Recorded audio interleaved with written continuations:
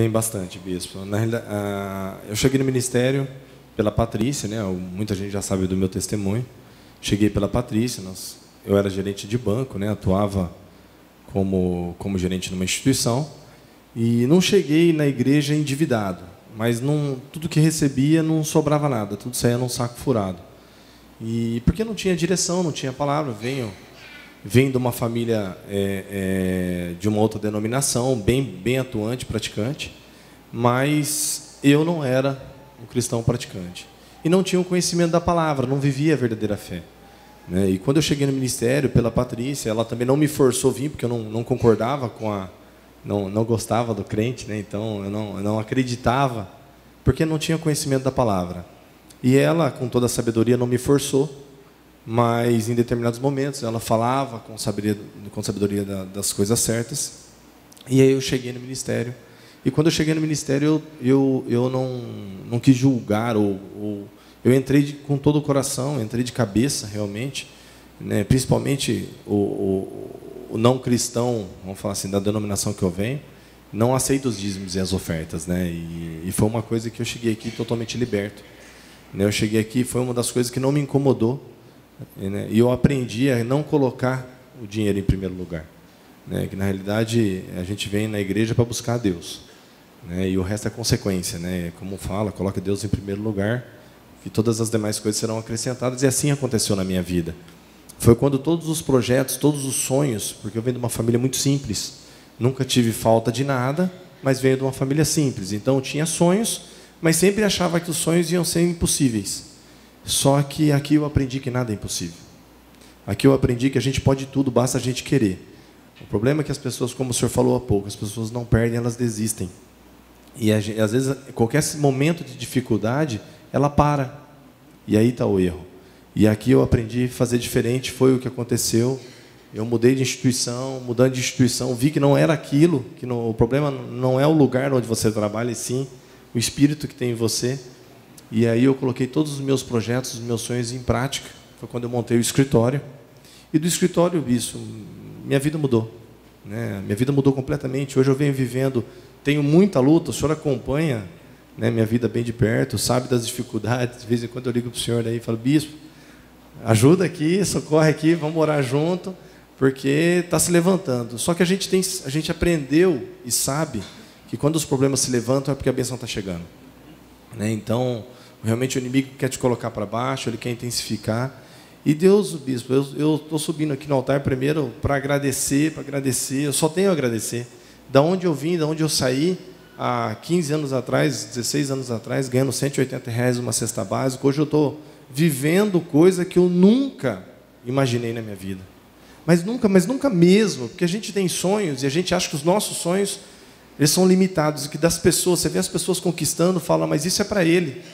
E aqui nesse altar, aqui dentro desse ministério, eu aprendi que não. Né? Eu via pessoas, eu subo, sempre venho aqui dar testemunho porque minha vida mudou num testemunho. É vendo a, o quanto Deus agiu na vida das pessoas, eu falei, não, mas se faz na vida dele, vai fazer na minha. E isso aconteceu. Então, é, é, eu venho, eu subo aqui e a principal das conquistas é ter minha família aqui. Né? Hoje eu tenho meu filho que está aqui comigo, né, que, que era de um outro casamento, mas mora comigo, aguarda comigo. Né, eu tenho a Patrícia aqui junto, então a gente está tudo na mesma fé, educando o nosso filho aqui, diante, dentro do, do, ministério, que é o mais importante, não vivendo as coisas do mundo. Né, e o restante é consequência. Né, eu, eu, eu, e aí Deus vem agindo, Deus agiu nesse negócio no escritório, agiu nos abençoando com outro projeto né, que hoje eu não a, a, colocou recentemente o escritório cresceu, eu precisei da Patrícia trabalhar comigo e, e onde todo mundo fala aí aí fora, mas sua esposa vai trabalhar com você? Meu Deus do céu, você está enrolado. Foi a melhor coisa que me aconteceu. O senhor já tinha falado isso para mim. Hoje ela me tira, me traz uma paz para o escritório, né? E, e, meus outros sócios ficaram cuidando do outro projeto. Então assim, é, o nosso projeto dos sonhos, que é uma casa, já está em andamento, já está em construção. Esses dias eu falei com a Patrícia, nós paramos na frente do terreno, olhando para olhando o terreno assim, a obra construindo, eu falei, é, só Jesus, eu não tenho, eu não tenho, e imaginar como, Quando a gente falava em apartamento, falava em coisas pequenas. Hoje está construindo uma casa num condomínio fechado dos sonhos, com tudo, com tudo, com tudo que sonhou, né? É, carros que a gente não. Esse não é um projeto, essa já é uma realização. A obra já está em andamento. Esse já está em andamento. E, e o senhor sabe o quanto a gente vive pela fé né, o quanto a gente é ofertante, o quanto a gente é dizimista, o quanto os, o, os votos audaciosos que a gente faz com Deus e o quanto Ele vem abençoando. Né? Então, o projeto da casa já está em andamento até fevereiro, março aí do ano que vem, é o projeto que está dentro da casa. Nós vamos finalizar na fé, porque a, a obra está sendo construída pela fé. Né? É, carros dos sonhos, moto que eu nunca imaginei, mas nunca imaginei. Sempre foi um sonho de criança e nunca tive a oportunidade de ter via com os amigos. Hoje eu tenho, né? hoje é uma realidade. Né? E, e, e falava de viagem, né? era algo que a gente sempre via também na televisão, ouvia as pessoas testemunharem e falava, não, isso não é para gente. Né? Primeiro vem o pensamento, né? e a gente aprendeu aqui que tudo é para gente. E amanhã a gente está fazendo uma viagem dos nossos sonhos. Vocês embarcam amanhã, né? Justamente amanhã, né? É, amanhã, amanhã, amanhã a gente embarca para a Itália e para a França. Nós vamos ficar dez dias fora. Coisa que eu, a Patrícia vivia falando, você vai ser um cara que vai amanhecer na segunda no escritório, vai estar domingo no escritório, você não tem vida fora.